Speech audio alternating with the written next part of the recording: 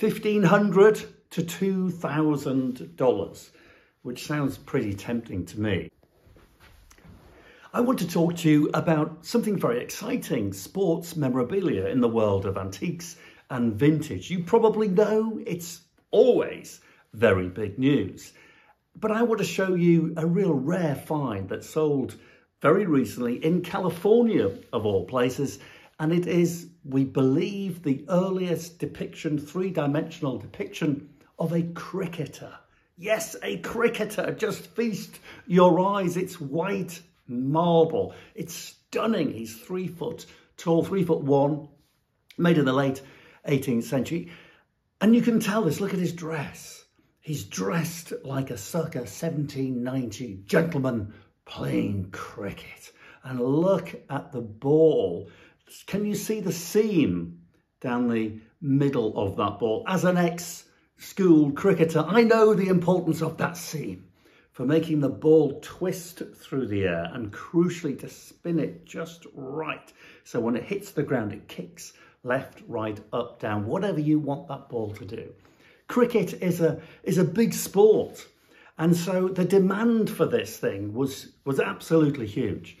And the reason why it's so big, like all sports are, are, are big, I think it's because of the that kind of common cohesion sport brings. And cricket was, was known for this. It was England's national sport in the 18th and 19th century. And during the time of the empire, the British Empire, the building of the empire, cricket was used as a tool for bringing this cohesion in the colonies. So the British would play cricket wherever they were, no matter how hot it was. India, Australia, Africa, Canada, America even. And it would be a way of making them feel British wherever they were in the world. But not just that. The British believed that a good cricketer was as good as an academic.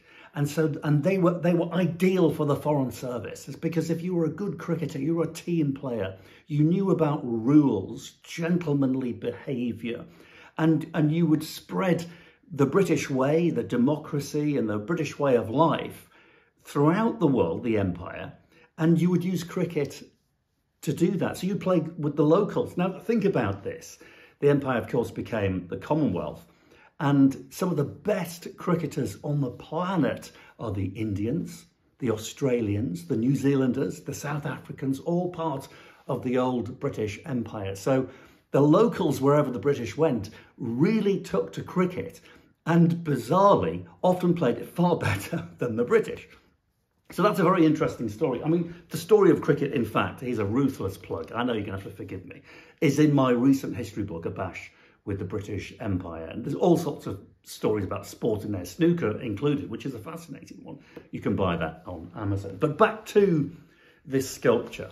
So, yeah, sold in California in an auction, had an estimate of 1,500 to $2,000, which sounds pretty tempting to me.